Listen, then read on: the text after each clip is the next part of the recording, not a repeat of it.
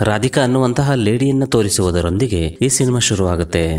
ಈ ಸಿನಿಮಾದಲ್ಲಿ ಡೈಲಾಗ್ಸ್ ಇರೋದಿಲ್ಲ, ಜೊತೆಗೆ ನೇಮ್ಸ್ ಕೂಡ ಇರೋದಿಲ್ಲ. ಹಾಗಾಗಿ ನಾವು ಈ ಲೇಡಿಯ ಹೆಸರನ್ನ ರಾಧಿಕಾ ಅಂದ್ಕೊಳ್ಳೋಣ.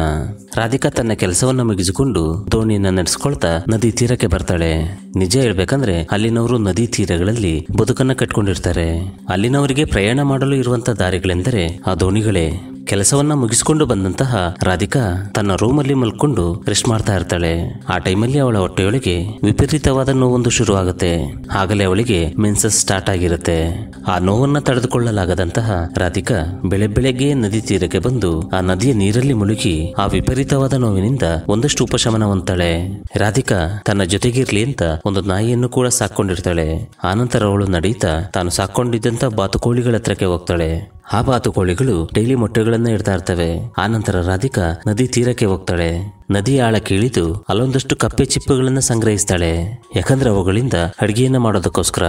ನೆಕ್ಸ್ಟಿನಲ್ಲಿ ನಾವು ರಾಧಿಕಾಳ ಗಂಡನನ್ನ ನೋಡ್ತೇವೆ. ಆತ ಕೂಡ ಸಣ್ಣ ಪುಟ್ಟ ಕೆಲಸಗಳನ್ನ ಮಾಡ್ತಾ ಜೀವನವನ್ನ ಸಾಗಿಸ್ತಾ ಇರ್ತಾನೆ. ಮೀನುಗಳನ್ನ ಇಳಿದು ಮಾರೋದು, ಮರಗಳಿಂದ ತೆಂಗಿನಕಾಯಿ ಇಳಿಸೋದು, ಮತ್ತು ಅದೇ ತೆಂಗಿನ ಮರಗಳಿಂದ ನೀರವನ್ನ ಇಳಿಸಿ ಅದನ್ನ ಮಾರಾಟ ಮಾಡ್ತಾ ಇರ್ತಾನೆ. ಮತ್ತೊಂದ್ ಕಡೆ ರಾಧಿಕಾ ಕಪ್ಪೆ ಚಿಪ್ಪುಗಳನ್ನ ತಂದು ಅವನ್ನ ಬೇಯಿಸ್ತಾ ಇರ್ತಾಳೆ. ಆ ಟೈಮಲ್ಲಿ ಮನೆಗೆ ಬಂದಂತಹ ರಾಧಿಕಾಳ ಗಂಡನಿಗೆ ಅವಳು ಮೆನ್ಸಸ್ ಆಗಿದ್ದಾಳೆ ಅನ್ನೋದು ಗೊತ್ತಾಗುತ್ತೆ.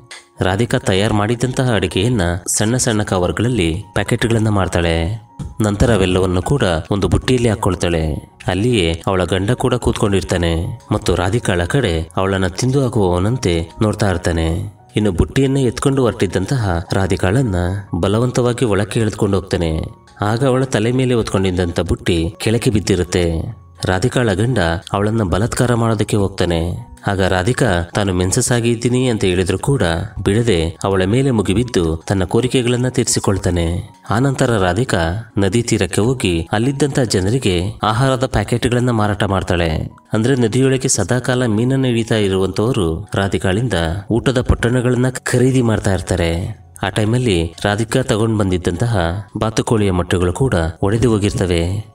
ಮನೆ ಹತ್ರ ಅವಳ ಗಂಡ ಬಲವಂತವಾಗಿ ಎಳೆದುಕೊಂಡು ಹೋಗಿದ್ದರಿಂದ ಬುಟ್ಟಿ ಕೆಳಕ್ಕೆ ಬಿದ್ದು ಮೊಟ್ಟೆಗಳು ಒಡೆದು ಹೋಗಿರ್ತವೆ. ಸರಿ, ಇನ್ನೇನ್ ಮಾಡೋದು ಅನ್ಕೊಂಡು ರಾಧಿಕಾ ಆ ಮೊಟ್ಟೆಗಳೆಲ್ಲವನ್ನು ಕೂಡ ನದಿಯೊಳಕ್ಕೆ ಹಾಕ್ತಾಳೆ. ಆನಂತರ ರಾಧಿಕಾ ತನ್ನ ತಂದೆಯ ಹತ್ರಕ್ಕೆ ಹೋಗ್ತಾಳೆ. ತನ್ನ ತಂದೆಯನ್ನ ತಟ್ಟಿ ಎಬ್ಬಿಸಿ ಊಟವನ್ನ ಕೊಡ್ತಾಳೆ.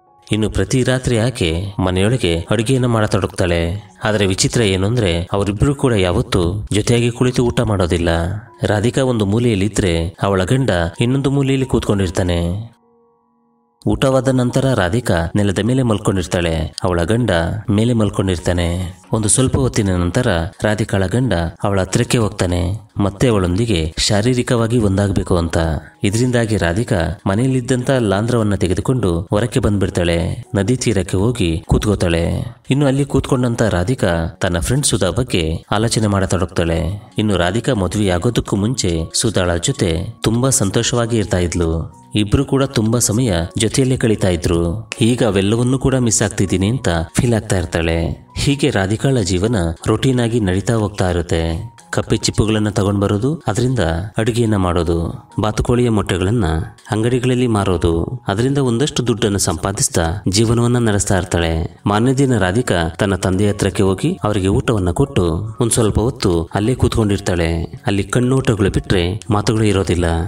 ಹಾಗಾಗಿ ರಾಧಿಕಾ ಒಂದು ಸ್ವಲ್ಪ ಹೊತ್ತಿನ ನಂತರ ಅಲ್ಲಿಂದ ಹೊರಟು ಹೋಗ್ತಾಳೆ. ಆಕೆ ಒಂದು ದೋಣಿಯಲ್ಲಿ ಒಂದು ಪ್ಲೇಸ್ಗೆ ಹೋಗ್ತಾಳೆ. ಅಲ್ಲಿದ್ದಂತಹ ಒಂದು ಹಳೆ ಮನೆಯನ್ನು ನೋಡ್ತಾ ರಾಧಿಕಾಗೆ ಹಳೆ ನೆನಪುಗಳು ಕಾಡತೊಡಗ್ತವೆ. ಆ ಟೈಮಲ್ಲಿ ರಾಧಿಕಾ ಮತ್ತು ಸುಧಾ ಇದೇ ಮನೆಯ ಸುತ್ತಮುತ್ತ ಆಟವಾಡ್ಕೊಂಡು ಇರ್ತಾ ಇದ್ರು. ತುಂಬಾ ಹೊತ್ತು ಆಟವಾಡಿದ ನಂತರ ಅವರು ಆಯಾಸಗೊಳ್ತಾರೆ. ಹೀಗೆ ಆಯಾಸಗೊಂಡವರ ಮಧ್ಯೆ ಏನೋ ತಿಳಿಯದಂತಹ ಫೀಲಿಂಗ್ ಶುರುವಾಗುತ್ತೆ. ರಾಧಿಕಾ ಸುಧಾಗೆ ತುಂಬಾ ಹತ್ರವಾಗ್ತಾಳೆ.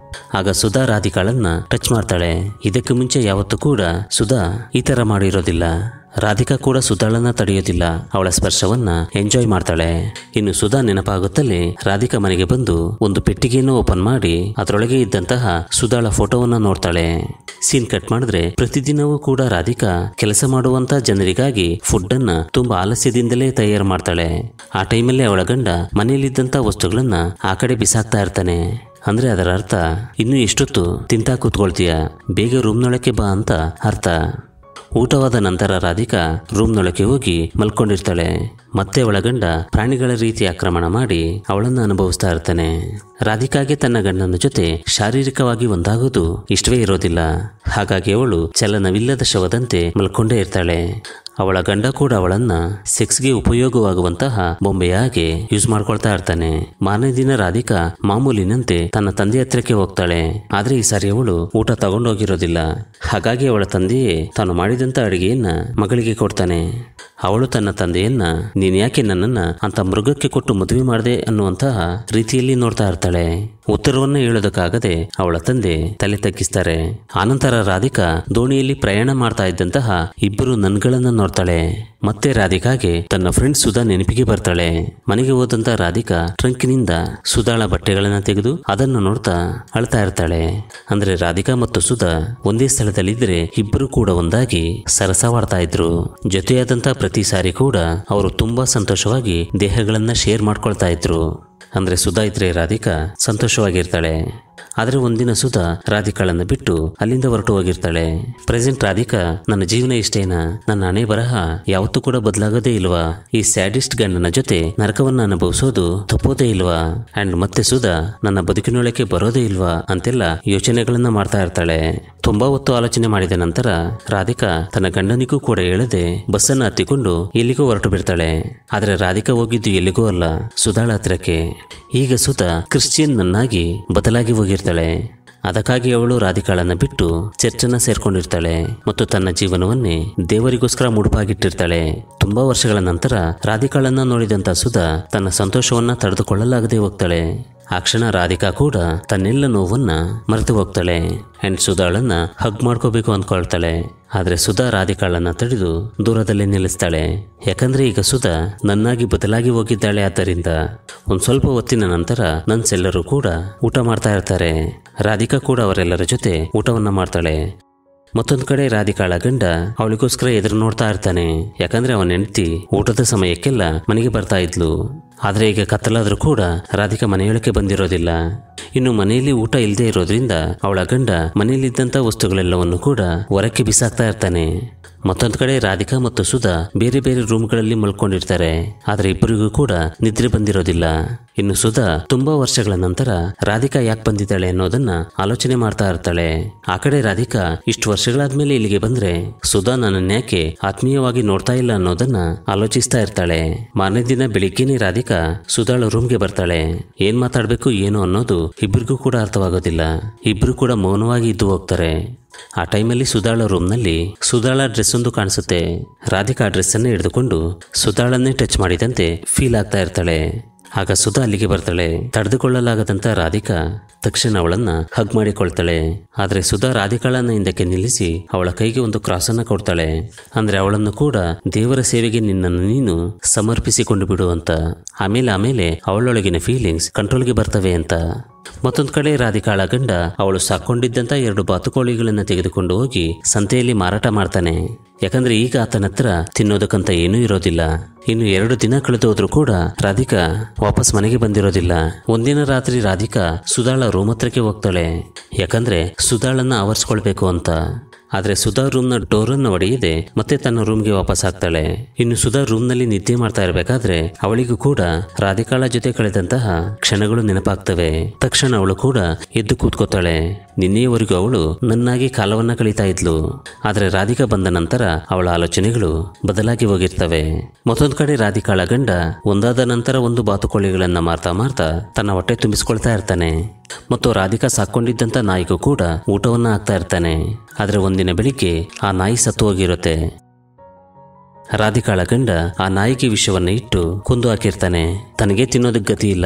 ಇನ್ನು ಆ ನಾಯಿಗೆ ಎಲ್ಲಿಂದ ಊಟವನ್ನ ತಂದಾಕ್ತಾನೆ. ಆನಂತರ ರಾಧಿಕಾಳ ಗಂಡನಿಗೆ ರಾಧಿಕಾ, ಎಲ್ಲಿದ್ದಾಳೆ ಅನ್ನೋದು ತಿಳಿದು ಹೋಗುತ್ತೆ. ಆತ ರಾಧಿಕಾಗೋಸ್ಕರ ಚರ್ಚ್ ಹತ್ರಕ್ಕೆ ಬರ್ತಾನೆ.